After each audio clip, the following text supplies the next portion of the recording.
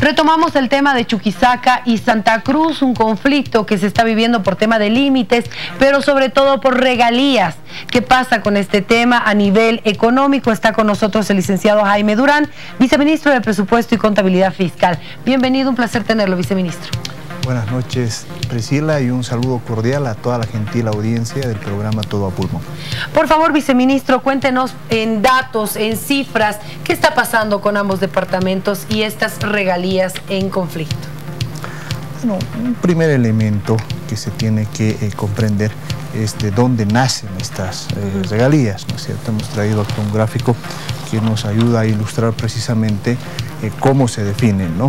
En primer lugar, lo que establece la norma es que las regalías eh, corresponden a un 18% sobre el valor de producción. Se dividen de la siguiente manera, 11% para los departamentos productores, 1% para Benipando y 6% para el Tesoro General de la Nación.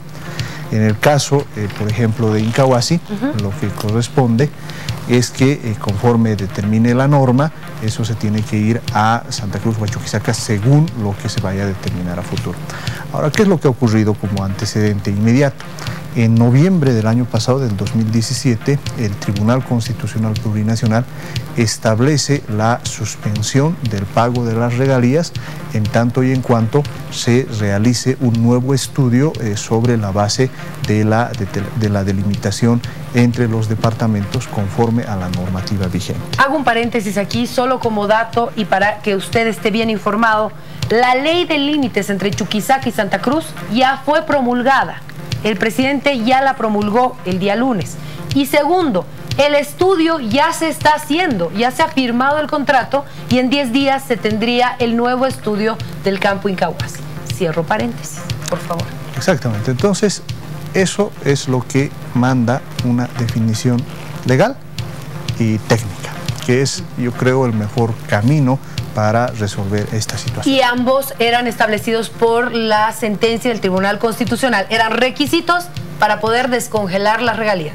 Exactamente, y ahí hay que tener mucho cuidado eh, respecto a la jerarquía normativa y el papel de las instituciones. No debemos olvidar que el Tribunal Constitucional es la máxima instancia en cuanto se refiere a la garantía de derechos y el control de constitucionalidad, ¿no es cierto? Ahora, eh, viceministro, yo voy a, ejemplos más eh, prácticos. A ver, Santa Cruz dice nos están perjudicando, no tenemos, eh, no podemos cumplir con muchos municipios ni muchas obras que ya habíamos comprometido con estas regalías que están congeladas. Bueno, ahí hay que tener primero un marco de qué significan estos ingresos, ¿no es cierto? Y voy a precisar los datos tanto para lo que significa Chuquisaca, como lo que significa Santa Cruz. A ver, en una perspectiva de más largo plazo, acá hemos traído un gráfico que nos permite ilustrar esto, ¿no? Entre 1994 y el año 2005, Chuquisaca recibió en forma acumulada 285 millones de bolivianos. Entre el 2006 y el 2017 recibe 3.051 millones de bolivianos, o sea, un incremento del 972%. ¿Por qué se da este incremento? Fundamentalmente por la nacionalización de los hidrocarburos que nos ha permitido este incremento. O sea, son recursos importantes que hasta el momento se han dado. ¿Qué pasa con el caso de Santa Cruz? ¿Cómo le ha ido a Santa Cruz en este tema? A Santa Cruz le ha ido también bastante bien entre 1994 y el año 2005 recibe 1.471 millones de bolivianos, entre el año 2006 y 2017 recibe 6.855 millones de bolivianos, es decir, un incremento del 366%. Es decir, ambos departamentos han tenido ingresos importantes respecto a lo que significa el tema de regalías hidrocarburíferas, ¿no? Solo para dar un ejemplo de lo que eso significa para el caso de Tarija. El año 2005 recibían 38 millones de bolivianos, el año pasado reciben 263 millones de bolivianos. Es decir, estamos hablando de recursos que son importantes y que se han logrado gracias a la nacionalización de los hidrocarburos. Ahora bien, ¿qué es lo que pasa en el caso de Santa Cruz? En el caso de Santa Cruz no debemos olvidar que no se trata eh, de la única, del único, de única fuente de ingresos que tiene, porque Santa Cruz o la gobernación recibe ingresos en términos de lo que es el impuesto directo a los hidrocarburos, recibe ingresos por lo que es el impuesto especial a los hidrocarburos y sus derivados y también se beneficia por regalías minerales y forestales aparte de los recursos propios que tiene. Es decir, en estos momentos ambos departamentos cuentan con los ingresos suficientes para que puedan cubrir sus inversiones. Pero viceministro, lo que sí es cierto también es que las regalías por el campo Incahuasi ya estaban establecidas y ya estaban en un POA, no sé si es el término y usted me corrige si me equivoco, para gastar en diferentes cosas. Entonces, si te es como que cuando te congelan las cuentas, ¿no? o sea, yo tenía que pagar esto y esto y esto, y ahora me han congelado mis cuentas. ¿Cómo pago eso si yo ya había comprometido ese dinero?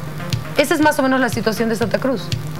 Bueno, ahí es importante que se vayan eh, entendiendo algunos elementos, ¿no?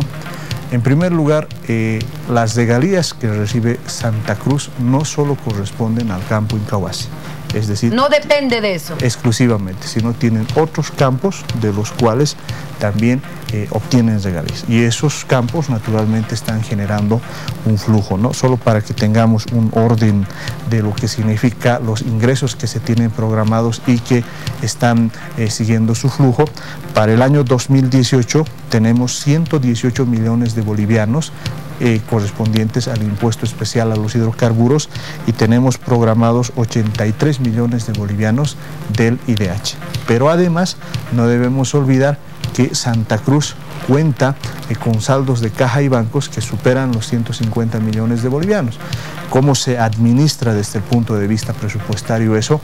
Se lo hace bajo el principio de flexibilidad presupuestaria, que permite que se puedan hacer las modificaciones presupuestarias necesarias para cumplir las obligaciones, en tanto y en cuanto se resuelve este tema que estamos seguros que a la brevedad posible se va a resolver en virtud a que las instancias competentes eh, establezcan eh, los resultados acorde a la normativa legal y de acuerdo al estudio técnico que va a hacer eh, la consultora para tal efecto. Ahora, en cifras sencillas, digamos que Santa Cruz recibía 100 mil bolivianos de las regalías, solo un ejemplo.